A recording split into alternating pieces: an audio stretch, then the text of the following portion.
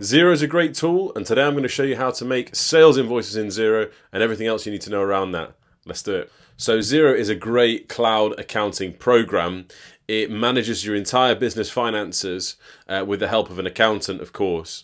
And one of the best things about it is creating your sales invoices and seeing who's paid you and having it all in one accounting program. So let's get into showing you how to make your sales invoices. So I've come into Xero here through my web browser and I'm going to click at the plus icon to create an invoice.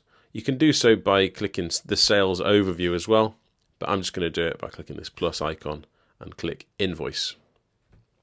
This takes you to your sales invoice screen. Here you can select which customer you want to send it to. I'm going to click this customer here and choose your date and the due date. And with the due date, you can set a default due date, um, but I'm just going to choose the 29th here. The invoice number works itself out automatically. And you can choose a branding theme um, and if you want to change your branding themes or create a new one, go to Accounting Advanced and then click Invoice Settings to change your branding themes. You can select items. I won't go into items now because it's a bit more complicated. I can do a different video on that. Choose your description, obviously something you want to give to your customer.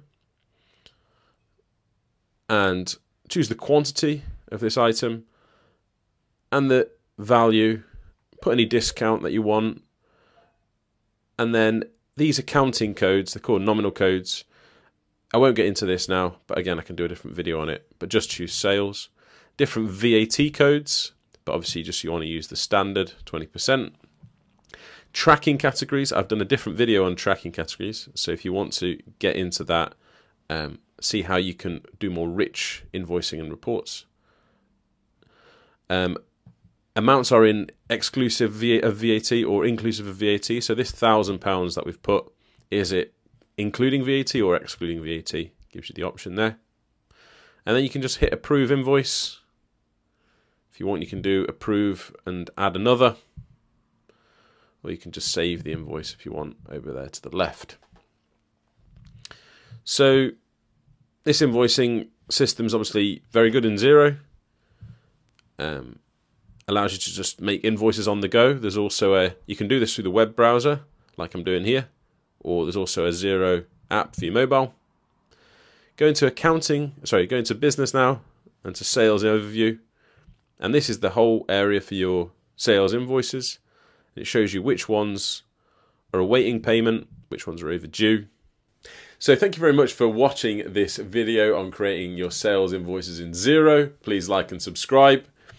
Um, but it's not just about creating sales invoices, it's about tracking whether you've been paid or not. Um, and there's lots of different things you can do with sales invoices as well. So I will do a more advanced sales invoices video in the future. Thank you very much.